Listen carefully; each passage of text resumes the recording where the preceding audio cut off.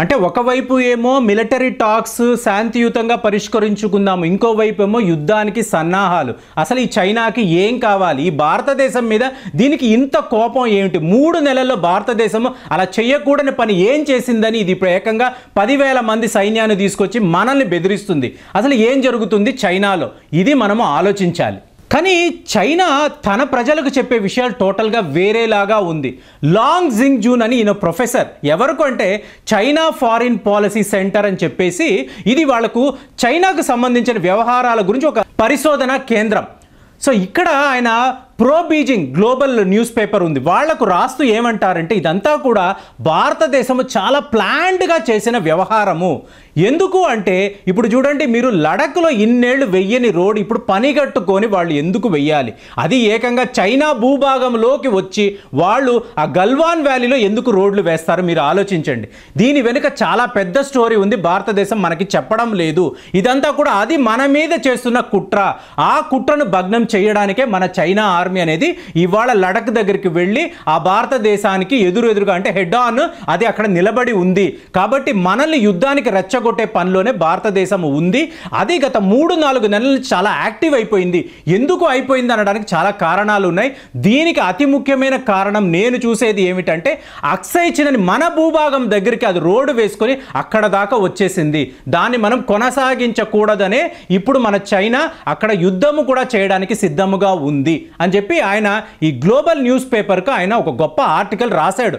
China ప్రజలంతా కూడా ఓహో ఇదే నిజము. భారతదేశం మన మీద ఇంత పెద్ద కుట్ర పన్నిందా? మన భూభాగాల్ని కబ్జా చేయడానికి అది అంతమంది సైన్యాన్ని అక్కడికి పంపించిందా? అబ్బో ఇండియా అంటే చాలా డేంజర్. మనం జాగ్రత్తగా ఉండాలి అని చైనాలో ప్రజలు మాట్లాడుకునే విధంగా ఆ మొత్తం సీన్ని వాళ్ళు అలాగ రివర్స్ గియర్లో వేసి తిప్పి ప్రపంచానికి చూపిస్తున్నారు. కానీ ఈ ప్రొఫెసర్ లాంగ్ జింగ్ చుంగ్ చెప్పింది పచ్చి అబద్ధాలు అని చెప్పేసి చైనా పాలసీ సెంటర్ అంటే ఇది ఆస్ట్రేలియాలో ఉంటుంది దీనికి చెందిన యాడమ్ని అని ఒక యుద్ధ నిపుణుడు చెప్తున్నాడు. అతను ఏం చెప్తున్నాడంటే చైనా పచ్చి అబద్ధాలు చెప్తుంది. అసలు ఇప్పుడు భారతదేశంతో అది యుద్ధము చేయాలా అనుకోవడం అనేది ఒక పెద్ద పిచ్చి పని. ఎందుకంటే ఈ వ్యాధికి ప్రథమ కారణం చైనానే. చైనా వల్లే ప్రపంచం అంతా కూడా ఇలా అయిపోయిందని చెప్పేసి అటు అమెరికా ఇటు రష్యా జపాన్ లాంటి దేశాలు దాని మీద నిప్పులు చెరుగుతున్న ఈ వేళలో అది వెళ్ళి భారతదేశంతో యుద్ధము చెయ్యగలదా? ఇక ఇంకొక వైపు చూడండి హాంకాంగ్ ప్రజలైతే ఏకంగా రోడ్ల మీదకి వచ్చేసారు చైనాకి వ్యతిరేకంగా వాళ్ళు నినాదాలు లేపుతున్నారు. ఇప్పటివరకు వాళ్ళ చరిత్రలో ఇలా జరగలేదు. మాకు చైనా ప్రభుత్వం అనేది వద్దు మాకు అటానమస్ బాడీ కావాలి. హాంకాంగ్ ప్రభుత్వమే తన పాలసీ తన ఫారిన్ పాలసీ తన ఫారిన్ ట్రేడ్ పాలసీస్ని చూసుకోవాలి. మాకు ఈ చైనా ఆధిపత్యం ఏమిటి అని చెప్పి హాంకాంగ్ ప్రజలు ప్రశ్నిస్తున్నారు. అలాగే ఫిలిపైన్స్ తాయివాన్ లాంటి దేశాలు చూసుకున్నారంటే వాళ్ళు చైనాని తీవ్రంగా వ్యతిరేకిస్తున్నారు. మరి ఇలా ఉన్నప్పుడు అది భారతదేశం మీద ఒక పెద్ద యుద్ధం చేసేద్దాము దాన్ని గెలిచేద్దామనే పగటికల ఎందుకు కంటుంది? ఒకవేళ అది భారతదేశం మీద యుద్ధము అనేది ప్రకటిస్తే అక్కడ అమెరికా రష్యా జపాన్ ఇజ్రాయెల్ వీళ్ళందరూ కూడా వాళ్ళ యుద్ధ ఆయుధాలతో అక్కడ రెడీగా ఉన్నారు. ఏ నిమిషంలో యుద్ధం మొదలైనా కూడా వీళ్ళందరూ కూడా ఆ భారతదేశ సరిహద్దుల్లోకి వచ్చి భారతము తరఫున వాళ్ళు యుద్ధము చేస్తారు. ఇది చైనాకు బాగా తెలుసు. ఎందుకంటే ఇవాళ ప్రపంచ స్థాయిలో చూసారంటే చైనానే ప్రపంచానికి ప్రథమ శత్రువు సో చైనాని ఎవరు కూడా వదిలిపెట్టరు. ఆ పోతే పోనీ నువ్వు ఇండియాతో ఫైట్ చేసుకో మాకేంటని ఒక దేశము కూడా ఇవాళ అలా ఒప్పుకోదు. ఇటలీ తీసుకోండి బ్రెజిల్ తీసుకోండి స్పెయిన్ తీసుకోండి. అంటే టోటల్ యూరోపియన్ యూనియన్ అందరూ కూడా ఇవాళ భారతం వెనుకే ఉన్నారు. సో మరి అలాంటి ఒక దేశంతో ఈ చైనా అనేది యుద్ధం చేస్తే దాని పరిస్థితి ఏమిటి? ఒక్కసారి అక్కడ నిపుణులు ఆలోచించాలి. ఆలోచించి ఆ సైన్యాన్ని వెనక్కి తీసుకోవాలి అనేది అదాం నాని లాంటి యుద్ధ మేధావులు మాట్లాడుతున్న విషయం.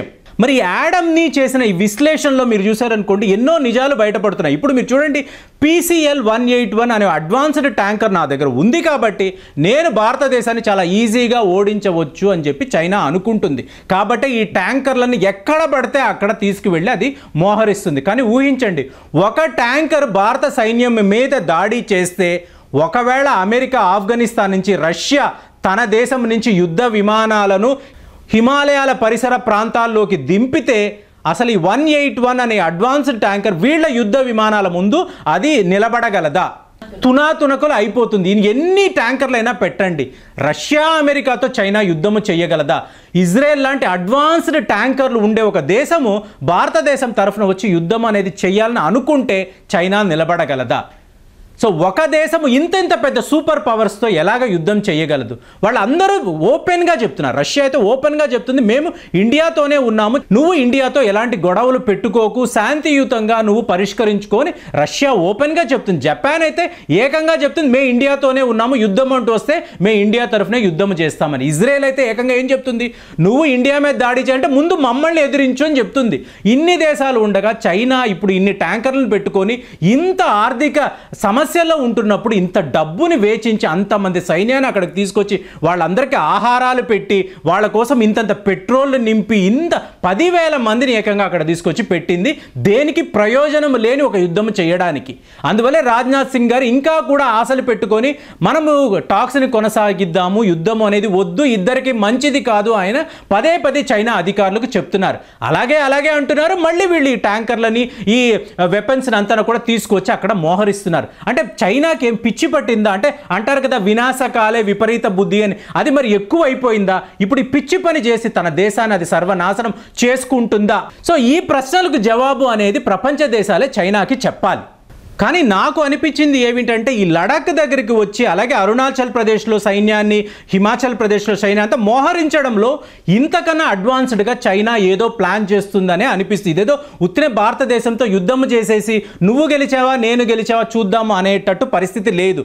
దీని మీద ఇంకా కూడా డీప్ అనాలిసిస్ అనేది చేయాల్సి ఉంది. సో ఈ విషయాలకు సంబంధించిన మీ దగ్గర కొత్త సమాచారం ఉంటే లేదా మీకు వచ్చిన ఆలోచనలు అంతా కూడా ఈ సోషల్ ప్లాట్ఫామ్లో మీరు షేర్ చేయండి. వచ్చే వీడియోలో దీనికి సంబంధించిన ఇంకా కొన్ని వివరాలతో నేను మీ ముందుకు వస్తాను. జై హింద్.